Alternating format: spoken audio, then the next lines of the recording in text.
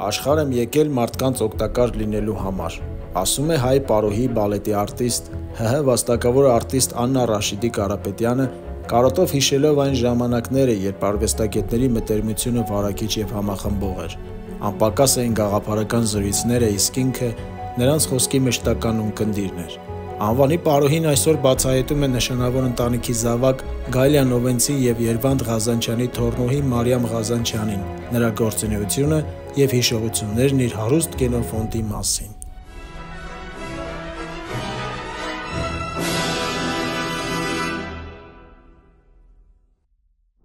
Բարև ձեզ սիրելի հերոստադիտողներ։ Ելակետի այսօրվա հերթական հաղորդումը տեղի կունենա մեր ազգի նվիրյալ հրաշալի մասնագետ, հրաշալի դերասանուհի, որի թևավոր խոսքերը մեզ համար այսօր այսույթ են դարձած։ Մեծն Գալանովենցի դպրոցում։ Այսօր ես իմ հանդիպումը խնդրել եմ, որ անցկացնի Նովենցի եւ Երվանդ Ղազանչյանի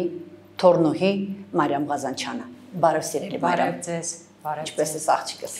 Լավ, լավ, որ ձեզ տեսնում եմ, ավելի լավ։ Ես ուրախ եմ, որ նաև առաջիններից եմ, որ ներկա եմ գտնվում մեծն մասնագետ Գալանովենցի դպրոցում։ Գիտես, ինձ ինչ հետաքրքրեց։ Արդյոք դու ինչ որ մի բան սրտումդ պահել էիր, բաներ կային, որ տատիկը անավարտ թողեց քեզ համար, բաներ կային, որ նովենցի խոսքը շարունակելի էր քեզ համար, եւ այդ գաղափարը երկար տարիներ կարծում եմ հուզել էր քեզ, որ այսօր դու բացում ես այսպիսի դպրոց։ Նպատակս հետևյալն էր, որ Գալանովենցի անունով, Տատիկի անունով մշակութային օջախ գործի Հայաստանի Հանրապետությունում։ Սկզբում պլաններում կար նրա անունով թատրոն բացելը, դա դեռ տարիներ առաջ քննարկման փուլում էր, ինչ-ինչ բաներ արվեցին, հետո չստացվեց, բայց ես չհանձնվեցի, որովհետև իսկապես շատ էի ուզում որ սերունդները իրեն ճանաչեն, ոչ թե ծնողներ, այլ հենց իրենք սերունդները, ու ծնվեց միտքը, որ լինի Գալանովենցի անվան թատերական դպրոց ու այսօր արդեն դպրոցը բացում է իր դռները։ Շատ ուրախ եմ։ Նայ դες գենոֆոնդով արտիստներ ունենք, ունեցել ենք, բայց դեռ այն հին արվեստագետները, որոնք մեր սրտերում մեծ տեղ ունեն, այսօր երիտասարդների համար կարծես թե ցավոք սրտի մոռացվում են։ Իմ գերխնդիրն է լուսաբանել նրանց եւս մեկ անգամ հիշեցնել երիտասարդներին, որ մենք ունենք մեծ գենոֆոնդ, արտիստների հրաշալի մի մեծ խումբ մասնագետներ, որոնք մեզ կրթել են ապրել այսօր կյանքում։ Եվ ես շատ ուրախ եմ, որ ունեցել եմ պապիկիտ նման տաղանդավոր ընկեր, գործընկեր, ես հպարտ եմ, ես փոքր եմ եղել, բայց երբ ստացա Ղազանչյանից առաջարկ Պարոնյանի թատրոնում աշխատել, ուղակի երջանիկ էի, կարծես անսահման երջանիկներից էի, որ կարող եմ նրա կողքին աշխատել, գործել, բեմադրել, բայց նաև նրանից սովորել։ Խնդրում եմ, մի քիչ պատմիր, որտեղից են արմատներով պապիկը, տատիկը եղել եւ արդյոք նրանք էլ գենետիկա են ունեցել, նրանք էլ ինչ որ իրենց ծնողներից են ժառանգել այսպիսի տաղանդավոր կերպար լինելով։ Թե պապիկի ընտանիքը, թե տատիկի ընտանիքը ընդհանրապես արվեստի հետ ոչ մի կապ չունեն, չնայած տատիկի պարագայում նրա կյանքում մեծ դեր է խաղացել իր մորակույրը դերասանուհի Լյուսիա Հովանեսյանը, որը եղել է Խորեն Աբ รา համյանի առաջին կինը եւ ոնց որ մորակրոջ նայելով, սովորելով նա որոշել է ընտրել այս ուղին Չնայած իր գրքում էլ է գրված եւ իր պատմելով էլ ասում է, որ երեխա ժամանակ Բաքվում անընդհատ ինչ որ ներկայացումներ են բեմադրվել, ինքը միշտ դրան մասնակցել է, այսինքն սերը դեպի թատրոնը իր մոտ եղել է մանկուց։ Պապիկի պարագայում ընդհանրապես արվեստագետներ չկան ընտանիքում չեն եղել, ասեմ ավելին, պապիկը տանը խափել է, ասել է, որ բժշկական համալսարան է ընդունվել եւ մայրը այդպես 4 տարի շարունակ կարծել է թե իր տղան սովորում է բժշկական համալսարանում եւ ասում է 4-րդ կուրսի քննությանը մամային ասում եմ դե կգաս այսօր ասում ինքը չի հասկանում ինչի ես պիտի գամ ինստիտուտ ինչ հապատել ասում դե արի կտեսնես բան ու խեղճկինը գալիս է ու տեսնում է որ տղան ավարտում է թատերական ինստիտուտ այսպես ասած տաղանդը գալիս է ի վերուստ։ Ի վերուստ։ Ուզես թե չուզես։ Ուզես թե չուզես։ Այն գալիս է քեզ մոտ եւ դու պետք է շարունակես։ Հիմա ինչպես ստացվեց քո պարագայում։ Դու ուզում էիր, թե սկզբում չես ուզել դառնալ, թե տանը միշտ այդ մտնոլորտն է եղել, տեսել ես մայրիկին, հայրիկին, տատիկին, պապիկին, Ինչ խոսք մեղավորները հենց իրենք էին, ընտանիքը, որովհետև 3.5 տարեկան հասակում ինձ հանեցին բեմ, այնտեղ մասսայական տեսարան կար,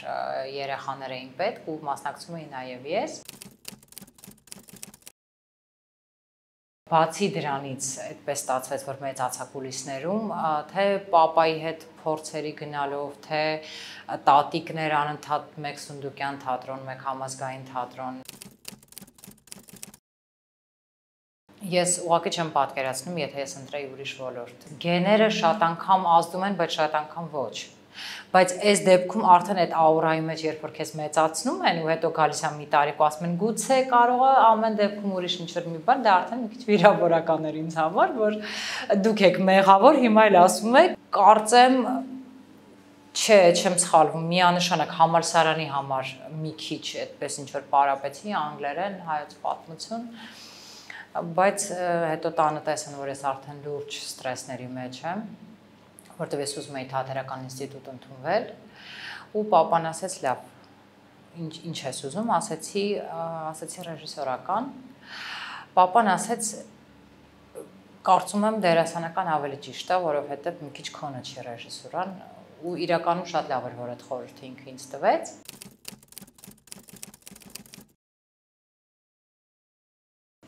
որտեվ հիմա տարիքի հետ էլ ես ինձ ամեն դեպքում դուր չի գալիս բեմադրելը ես ավելի շատ սիրում եմ խաղալ։ Ու այդպես ես ընտրեցի այս ուղին, ընդունվեցի Թատերական ինստիտուտ Զավեն Տատենցյանի արվեստանոց, իմիջիալս մենք իր վերջին կուրսն ենք եղել։ Իմ սիրելի Զավեն Տաշելա արվեստագետ։ Այ ես շաքաղում եմ իր մասին խոսելուց։ Իմ վարպետը։ Ես նոր եմ ընդունվել Թատերական ինստիտուտ որպես դասամանդող դասախոս եւ մի փոքր ժամանակահատված հրավիրեց իրեն մոտ ներկայացում բեմադրելու եւ իսկապես վարպետ էր։ Մարդ վարպետ, որից կարելի է սովորել։ Զավեն Տիգրանչը դասավանդել է նաև տատիկիս, ինքը այդ ժամանակ Արմեն Գուլակյանի ասիստենտն է եղել դե ժամանակ բնական է որ շատ երիտասարդ է եղել, բայց դե դուք պատկերացեք, այսինքն հիմա այսպես ոնց է դուրս գալիս, տատիկը եղել է իր առաջին ուսանողը, ես վերջին։ Երևի չգիտեմ, արդեն սա չոր ճակատագրական բախումներ են, բայց ես երջանիկ մարդ եմ։ Տես Մարիամ ջան, հետաքրիր է, այո դու չասացիր որտեղից են նրանք արմատներով։ Ինչու՞ արմատներով որովհետև բազմաթիվ անգամ տեսել ենք տատիկի Գյումրի այսպես ասած բարբարով խոսելը կարծես թե գյումրեցի լինի եւ չէ աստորեն ոչ աստորեն ոչ չէ դա բոլորն էին այդպես կարծում սա աստորեն գալանովենցի ուղակիորեն մեծությունն էր որ կարողանում են բոլոր հա, հա, բարբարներով խոսել այնպես ես էլ եմ այդպես կարծում չնայած որ իրենք դե ստեղծագործել են երկար տարիներ աշխատել են Գյումրու թատրոնում կարծում եմ բարբարը արդեն ինչ որ չափով ինքը տիրապետում էր, ներմուծվել էր, այո։ Ու ֆիլմից հետո այդպես շատ էր հարցեր հնչում, որ Գյումրեցի է, Գյումրեցի է, բայց նա իրականում Գյումրեցի չէ, տատիկը Երևանցի է։ Պապիկի արմատները Պոլսից են, քանի որ նրա ծնողները ցեղասպանությունից փրկվել են, գաղթած են։ Այնպեսի բաներ էր պատմում պապիկը իր ծնողներից լսած որ չգիտեմ էլ որից սկսեմ, որից Դրա համար աստորեն պապիկի մեջ այդ ազգային մեծ ներուժը կա եւ շատ շապից ավել պատասխանատվության զգացում ուներ։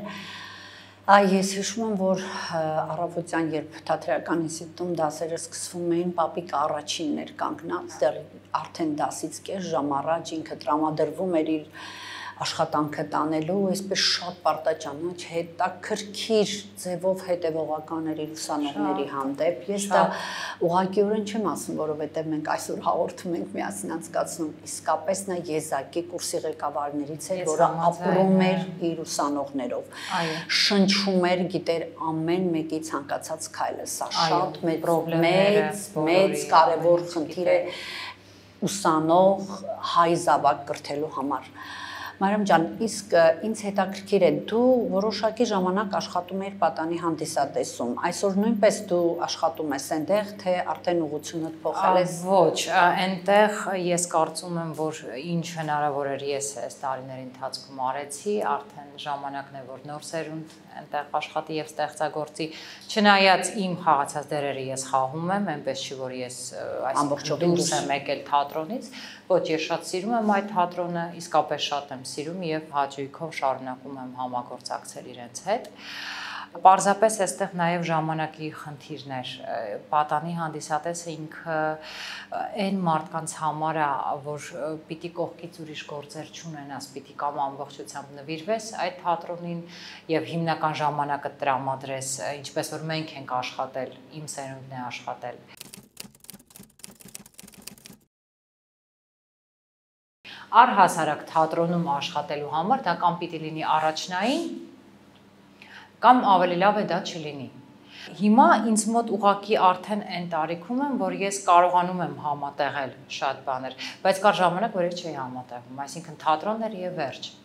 ուրիշ ոչ մի գործերի ես չէի անդրադառնում։ Այս վահի դրությամբ աշխատում եմ Պարոնյանի անվան թատրոնում, նաև պայմանագրով խաղում եմ տեխնիկային թատրոնում, Մարիամ ջան, բավականին լավ ճանապարհ ունես տեխնիկային թատրոն, նաև պատանի հանդիսատես եւ Պարոնյանի թատրոն, սա երեք լավագույն թատրոններն են, որոնք ընդհանրապես հանդիսատեսին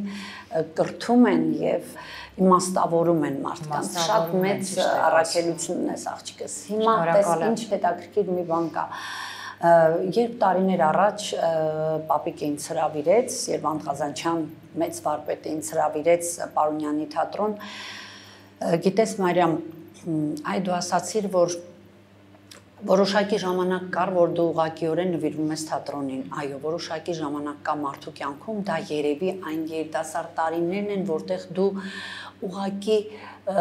սպունգի նման պետք է վերցնես վարպետներից եւ այդ այն ժամանակահատվածն է որ դու չես կարող ոչ մի վարքյան բաց թողել պետք է անսահման ուշադիր լինել եւ սովորել եւ ինձ համար էլ այդ ժամանակահատվածը ուսուցողական էր երբ ես հravirվեցի նրա կողմից ես բեմադրել եմ մեծ բախտ եմ ունեցել բեմադրել ուշ լինին ուշ լինին ներկայացումը Երվանդ Տոդյանի զվարճալի պատմություններ ներկայացումը եւ օցեանի ներկայացման մեջ պատկերացրու այնպիսի մեծություններ կային ինձ շրջապատող շորթական արտիստ Ղազանչյան Ռուբեն Մաթեվոսյան, խորհրդատու Մարտին Վարդազարյան, Էլիբեկյան նկարիչ։ Ես փոքրիկ աղջնակ նրանց մեջ, ես ուղակի սպասում էի նրանց ցանկացած բառի, որից ես կարող էի սովորել։ Ես կարծում եմ այդ ժամանակահատվածը նաև քեզ համար էր ուսուցողական։ Իսկ հիմա ժամանակն է տալ, այնինչ վերցրել Այ այդ ժառանգությունը, որ իրենք մեզ թողեցին, ես չգիտեմ, ես այնքան շնորհակալ եմ չեք պատկերացնում, բայց հիմա էլ էլի փորձում եմ վերցնել ովքեր որ պատրաստ են ինչ-որ բան մատուցել պետք է հասկանում եք ինչքան էլ մենք ասենք դե մենք ինքնուրույն ենք, դե մենք կանենք, բայց մենք իրենցից ենք չէ սովորել այդ ամեն ինչը։ Մի քիչ համաձայն չեմ, որ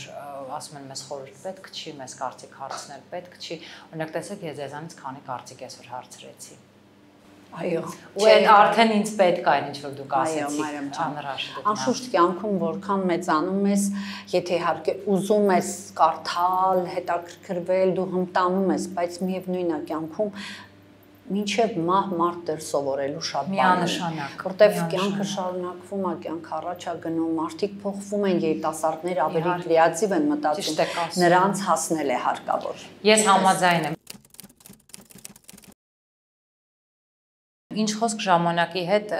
պիտի քայլենք, պիտի նաև իմանանք TikTok-ը ինչ բան է, պիտի իմանանք Instagram-ը ինչ բան է, որովհետև եթե չիմանանք, մենք չենք կարող ուղակի գոյատևել։ Բայց այդ ամեն ինչի կողքին պիտի ունենանք նաև առաջարկելու բան։ Որտեվ եթե չունեցանք, ուրեմն սոցցանցերը մեզ կհաղթեն, դա միանշանակ։ Բայց այդ ամենը անտեսել էլ դա անհնար է, ես չեմ պատկերացնում։ Տես մենք խոսեցինք ավելի երիտասարդությունից, ավելի այսօրվա մտածող կրեատիվ երիտասարդների մասին։ հիմա ուզում եմ անդրադառնալ քո փոքրիկ երեխաներին։ Նարեին գիտեմ, բայց տղայիդ Արեգին ես չեմ տեսել, բայց Նարեին ուրեմն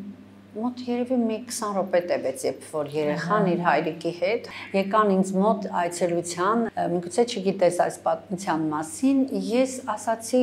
Նարը ջան, մի բան բարիր ինձ համար, տեսնեմ արդյոք քեզ մոտ բարարվեստը կա քո մեջ եւ այլն շատ ավելի փոքր էր, որքանով ես հիշում եմ, նա 6 տարեկան էր երևի։ հա, հա։ Եվ Նարեի պատասխանը նա ասաց՝ «Մինչև գլխիս մի հետաքրքիր բարային կոպի չդնեք, ես ձեզ ոչինչ չեմ ցույց տա»։ Շատ հետաքրքիր պատասխան էր։ Ասացի ամուչապես բերեք, բերեք երեխային հագցրեք։ Երբ որ նա հագավ այդ կոպին, նա շղարշի մեջ էր գտնվում, նա սկսեց ապարել շատ գեղեցիկ։ Հիմա ինձ հետաքրքիր է այդ գենոֆոնդ ասած, այդ գենետիկ ուժը, արդյոք շատ շարունակվում է քո զավակների մեջ։ Նարեն ինքը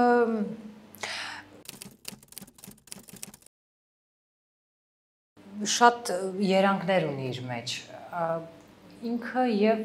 հետաքրքիր երգում է եւ նա լավ գրում է պատմվածքներ ունի գրած նարեն շատ կարդում է ու հիմնականում ես չեմ պարտադրում ինքն է ընտրում ինչ գրականություն է ուզում կարդալ այս վերջերս արդեն Կոելո էր կարդում Վերոնիկան որոշում է մեռնել եկավ ներկայացումը նայեց ու որոշեց գիրքը կարդալ իր մոտ հիմա այնպիսի շրջան է որ դեռ չկողմնորոշված վիճակ է ու մի օր ուզում է կինոռեժիսոր դառնալ մի օր ասում է չէ ես ամեն դեպքում դերասանուհի երևի դառնամ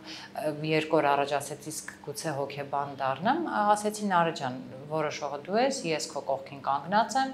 ինչ որոշում էլ կայացնես, ուղղակի կես տարիքի ժամանակ կողմնորոշվի, որ մենք հասկանանք ինչ ենք անելու։ Հետո նվագում է Նարեն նաև։ Ես դա ուզում ասել, որովհետև երբ որ մենք բոլորս մեծ սիրով մասնակցում էինք Գալանովենցի եւ Երվան Ղազանչյանի 80-ամյակին, ես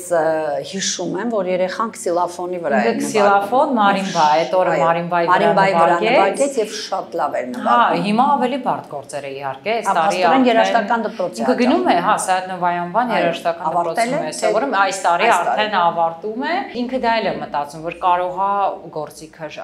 դրա համար մտածեցի գուցե հանգիստ թողնեմ իրեն մի կես տարի, մենք ամեն դեպքում դեռ ունենք ժամանակ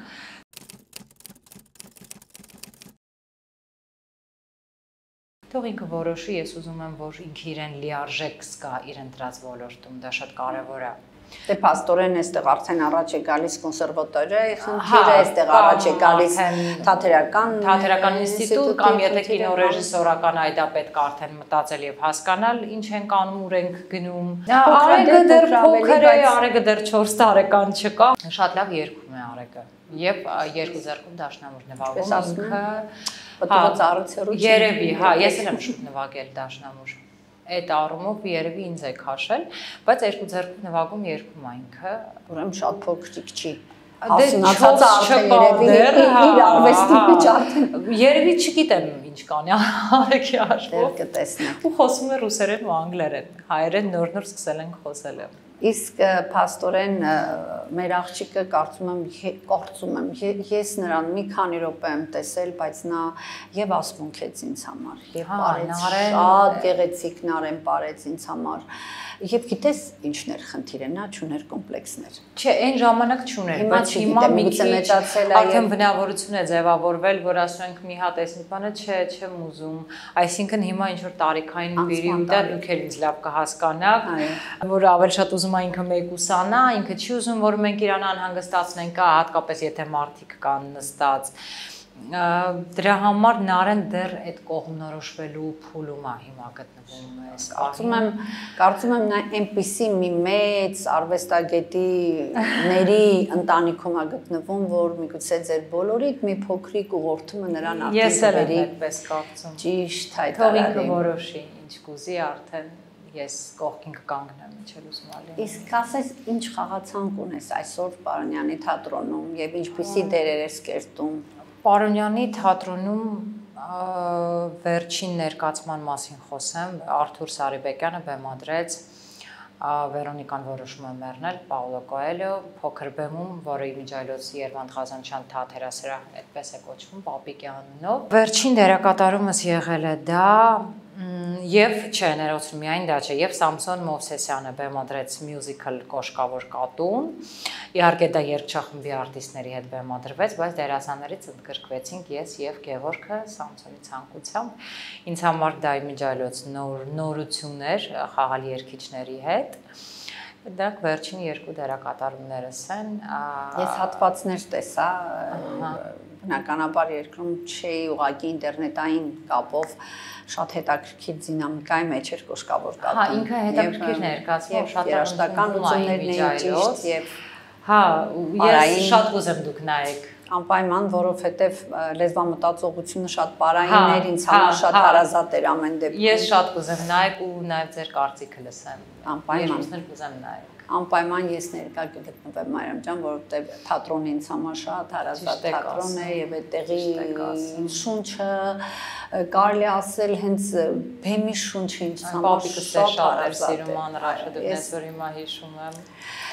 պատկերացրու նայ, տես այնպեսի մի հետաքրքիր բան ուներ, ուզում եմ որ լսեն մարդիկ, հերոստադիտողները եւ գնահատեն մեր մեծերի արժեքները մի անգամ ինձ հravirեց եւ այսպեսի մի ժողով էր, որտեղ պետք է որ Ռուբեն Մաթեոսյանն էր, ինձ հravirեց որպես պարարվեստի մասնագետ եւ պետք է բոլոր թատրոնի դերասանները մեկ առ մեկ ներս մտնեին եւ նա խոսեր նրանց արժեքների մասին լավ թե վատ եւ միգուցե մեկը հեռանար թատրոնից, որը լավ չէր հաճախում կամ իր աշխատանքը լավ չէր կատարում, այս այսպեսի ես էլ շատ անհանգիստ էի ասում, ես շատ ավելի երիտասարդ եմ, ես ոչինչ չեմ կարող ասել, հանկարծ ինչ որ մեկին նեղացնելու համար, դու հանգիստ, հանգիստ աղջիկ ջան, նստի։ Ես կասեմ լավը լավ, վատը վատ։ Հերթով մտնում էին Մարիամ մարդիկ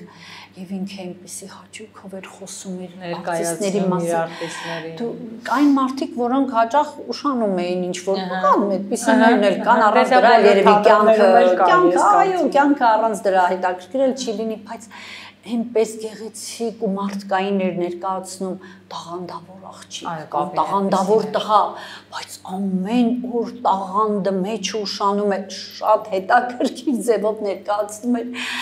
ու սենց ապրես, նա կշարունակվի մեզ հետ աշխատել, նա կշարունակի։ Վերջն ավարտվեց, ասում պարոն Ղազանչյան, փաստորեն սա էր ամենավատ բանը, որ մենք պետք է վատ արարք անենք, ասում հա Բալիկ ջան, սովորիր լավ բան ասել, սովորիր բարին խոսել եւ այն քեզ իվերուստ հետ կվերադարձվի։ Ես շատ բան սովորեցի Ղազանչյանից, ցավոք սրտի Գալանովենցի հետ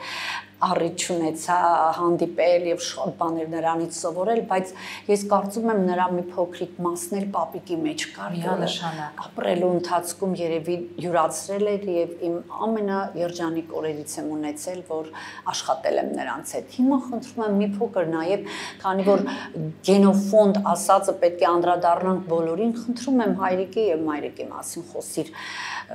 Ղազանչյանների մյուս շարունակող ուրեմն ջուղը։ Սիրով Սիրով դե պապան ռեժիսոր, մաման երաժիշտ։ Պապան ընդհանրապես շատ է լավ առումով ազդել իմ կենսագրության եւ իմ դասարակության վրա, ասեմ ձեզ ոչ թե ինչ որ հատուկ բաներ է արել, այլ շատ աննկատ ուղղորդել է ու այսօր իր հետ խոսում էինք ասուլիսի ժամանակ էլ ասում ես չիմացա ես մի տարին ես դպրոցը ոնց ստեղծվեց ինչ արեց ու ես հասկացա որ եթե այդ դա չլիներ եթե papan այդ տեսակի մարդ չլիներ գուցե ես ինքնուրույն գործել չկարողանայի դա ճիշտ դասարակության շնորհիվ է միայն լինում այսինքն անընդհատ չփորձեց իր կողքը ինձ պահել առանց խանգարելու էր չխանգարեց զուսպ ինչպես հա, ինքը կա հա, ինչպես ինքը կա հետո ես միշտ ազատ աշխատել եմ տարբեր ռեժիսորների հետ այսինքն եւ մինչ օրս էլ աշխատում եմ բայց շատ շնորհակալ եմ ես papaից շատ որովհետեւ օրինակ ասում եմ եղել են դեպքեր երբ ինչ որ կասկածել եմ ես իմ արածի վրա կամ վստահ չեմ եղել եւ իր խորհրդը ինձ փրկել է շատ սիտուացիաներում չգիտեմ Աստորեն մայրիկի երաշտական մաման, հա, մաման երաժիշտ է, առանց մամայի ընդհանրապես ես չեմ պատկերացնում ինչ էի անելու, որտեվ ոչ միայն որպես մասնագետ է ինքը ինձ շատ օգնել եւ օգնում, բացի նրանից այն թիկունքը, որ ես ունեմ իր կողմից, թե երեխաներին նայելու հարցում, թե խորհրդի հարցում, թե չգիտեմ, ես ուղղակի շնորհակալ եմ իմ բախտից այս դեպքում իմ ծնողների համար։ Մենք էլ ենք շնորհակալ, որ մեր բախտից, որ ծանոթ ենք ամբողջ ազգով, այսպիսի տաղանդների հետ շփվել ենք եւ առիթ ենք ունեցել նրանցից նաեւ սովորելու։ Սա